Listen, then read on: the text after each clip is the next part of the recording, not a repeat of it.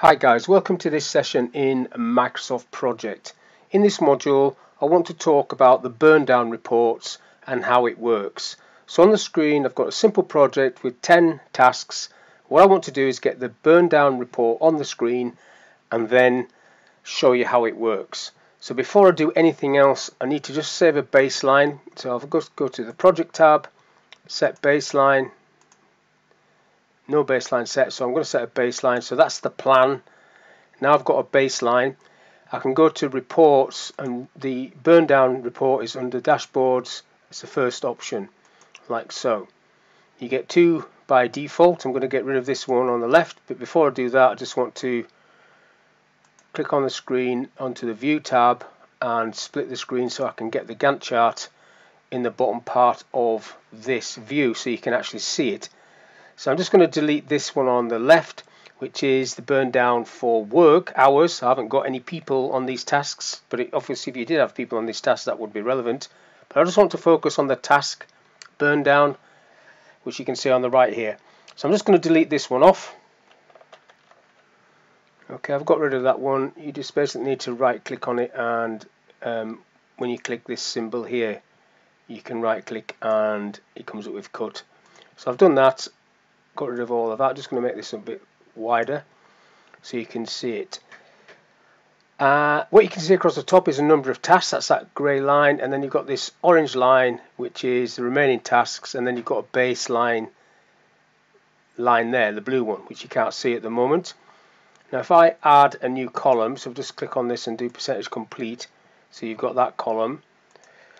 Now if you want, you can um, just move that over a bit so it's closer to this side. If you want, you can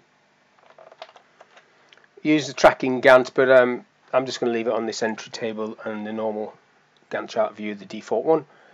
So what you've got here is a line. Now if I change this first task to 100% complete, you see what happens there. The, the actual number of tasks has come down. So if I do the next one to 100% complete,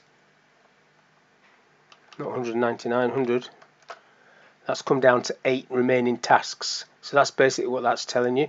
Now the timeline, I'll just put these back to zero so you can see how that works. The timeline is set to weeks at the minute, which is a bit, a bit long compared to the duration of this project. So I'm just going to click on that, go across the field list and edit the timeline, change it to days and single days like that. Okay and then the timeline just becomes a little bit longer and you can pull it over if you like like so.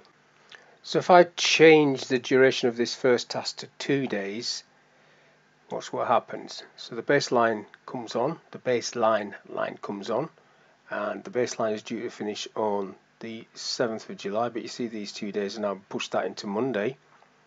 So that's what's going to happen as you, as you play around with this the lines are going to change, get wider and wider, and this is just moving along. Now if I start doing 100% complete on some of these as well, you can see this remaining task line coming down as it did before. So that's coming down, so as I complete these, it comes down. It's Planning Wizard telling me I can just drag that down, but that's okay. And then if I put three days on that you can see the gap between the baseline and, the, and this line is getting bigger and bigger. Basically tells you there that if you have a steeper if your remaining task line is steeper then your project may be late which it is. A lot steeper. So as you're coming down and you're changing these that stays the same. Let's say that was three days and that's gone to three days. You haven't actually done them yet so if you make it 100% I'll just drag these down. So you can see the changes I'm coming down. So now I've only got a couple of tasks left three tasks. And we're way, we're way off what we planned to be so we should have finished there. Now we're going to finish there. And this then not, is not a great project plan. It was a bit off and then as soon as I pull that right down so there's no more remaining tasks no more remaining actual tasks. But you get the line between the two of the baseline. So you should have finished on the 7th but you're not actually finished until the, until the 21st so that's just a quick look at how you can utilize the burn down charts with your Gantt chart and see what the impact will be. As you are making these changes you can see it when you've got a split screen like this so hopefully this video is of use. Thank you for your time and I'll catch you in the next one